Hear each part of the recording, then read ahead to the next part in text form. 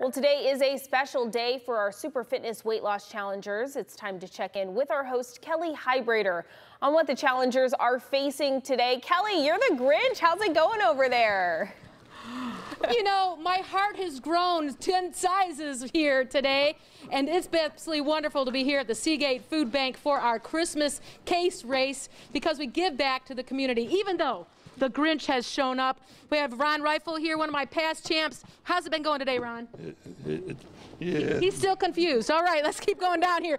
What we had to do is we had to go around the Seagate Food Bank today, and we had to have about 10 different stops. We are packing these boxes right here. As you can see, we have non-fat milk, we have spaghetti, canned goods, we have all of this juice right here. Kim Blossie and her husband Daryl are here. Kim, how was this challenge? It was a lot of fun. It was great packing up all the boxes for everybody, and it was kind of a maze in here Yeah. trying to get through everything. Yeah, yeah. Daryl, you were confused at our last challenge at the Imagination Station, only because he couldn't understand grocery shopping. How'd you do today?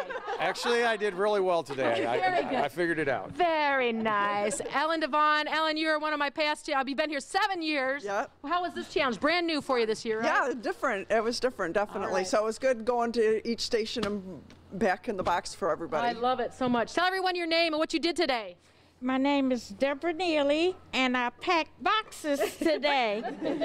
She's been with me in so many things. Deborah, you have been side by side with me in so many different challenges. What was your favorite part?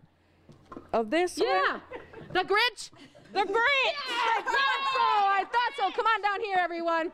And of course, we have we have Cherie Dennis with us with the Seagate Food Bank.